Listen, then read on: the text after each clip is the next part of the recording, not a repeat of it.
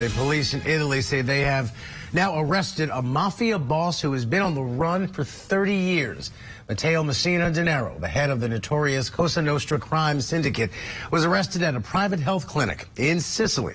Denaro has been on the run since 1992. That's when he was sentenced to life in prison for his role in the murders of anti-mafia prosecutors.